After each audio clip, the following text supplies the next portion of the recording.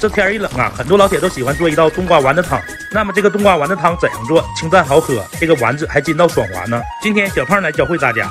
刚从菜市场捡了一个冬瓜，咱们先给它切成小段，然后给它去皮，把这个冬瓜芯儿给它去掉，然后切成厚一点的薄片。肥瘦二八比例的猪肉馅儿，咱们先加上葱姜末，再打一枚正宗的母鸡蛋，少半勺的生抽，半勺料酒，少许的盐、鸡精、十三香调味儿。先是用手把肉馅抓碎。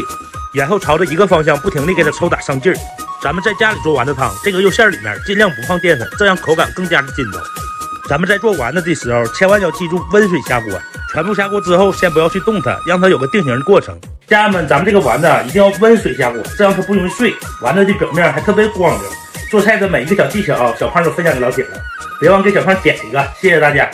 为什么饭店做的丸子汤那么清淡呢？一点肉沫沫都没有。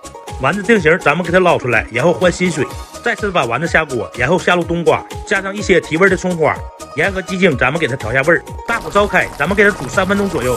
出锅之前呢，再撒上点胡椒粉。你看这不就好了吗？像我这样做的冬瓜丸子汤，清淡不油腻。天冷的时候，一定要学着给家人多做一做，暖心又暖胃。